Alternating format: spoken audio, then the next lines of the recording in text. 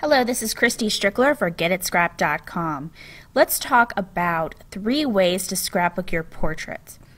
Personally, for me, portraits can sometimes be a challenge. I have to sit down and find a way to draw out a deeper story.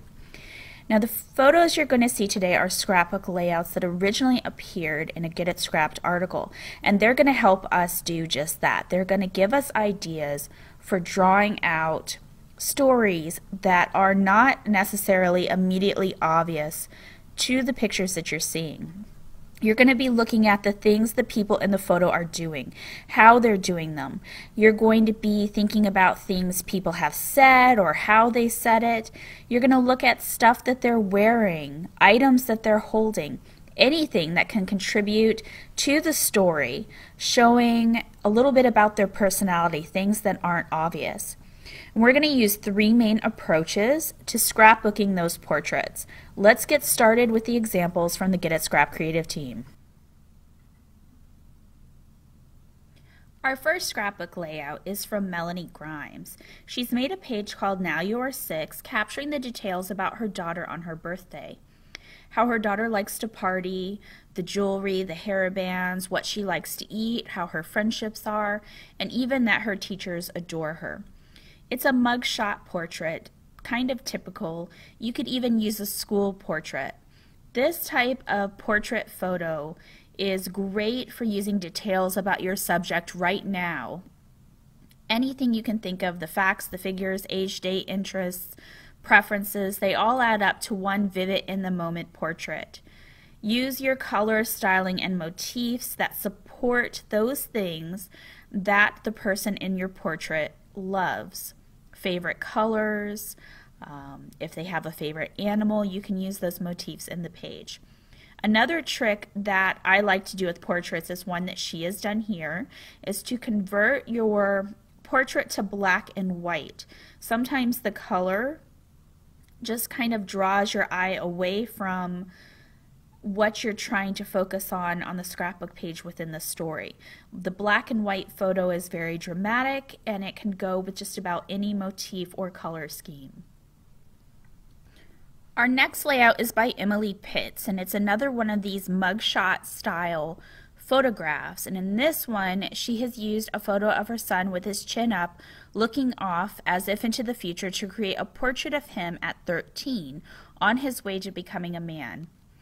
Now these type of layouts are something that I have started doing every year uh, with my son because his interests are changing. His friends, for the most part, remain the same, but sometimes there's some new ones. And I want to capture those changes for him year to year. And it's something that you can do with your child no matter what age they are. Our next two scrapbook layouts are going to help us demonstrate action becoming character.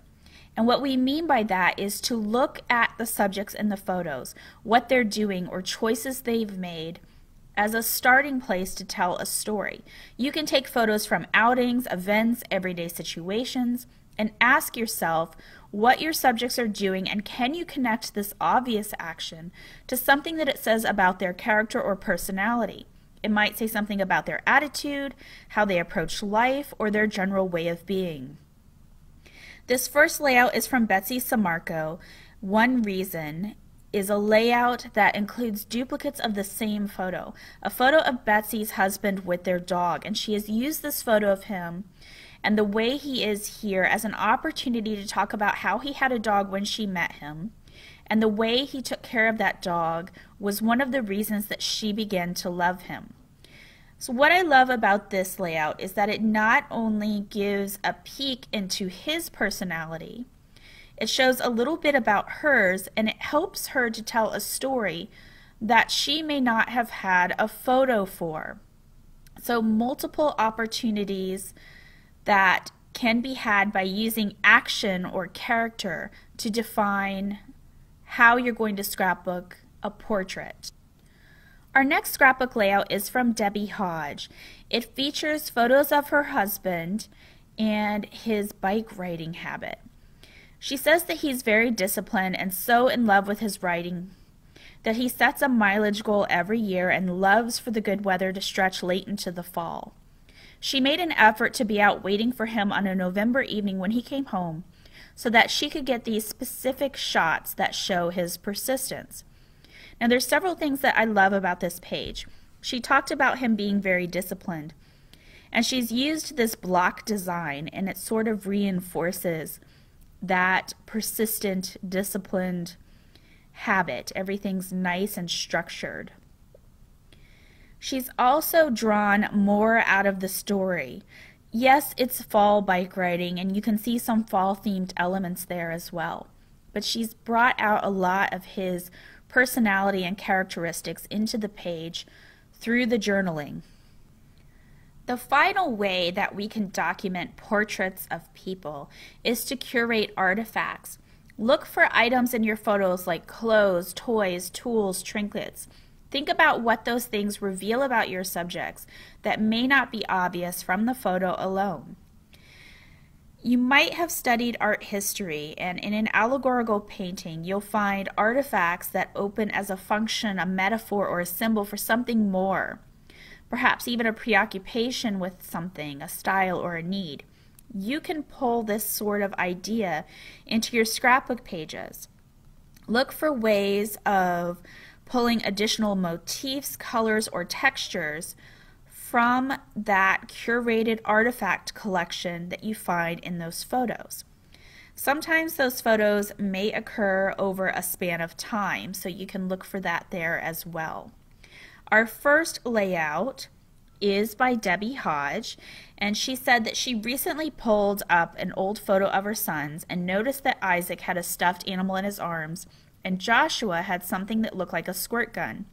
She asked him what it was, and even though it was a photo six years later, he immediately knew that it was a cap gun. In the smaller photo, he's holding a terracotta warrior in his hands, and he has always done this posed for photos with treasured presents as if those treasures would equate to his interest. They're important to the portrait of him. Isaac was a cuddly kid who loved soft and cute things from his early days. So she's creating a story that gives a comparison of her sons, and at the same time, she's painting a picture of their personality in the photos. Our final scrapbook layout is from Betsy Sammarco. When she saw her son's prayer card so full of tick marks, she knew what he was praying for and what it meant. She used the actual prayer card with photos of her son to tell a powerful story of him, his faith, and his love for her. What I love about this layout is that she's used a piece of memorabilia as an artifact to support the story. Now you're noticing something here that we saw earlier on, and that's a repetition of the same photo. That can be a very powerful way to use a portrait.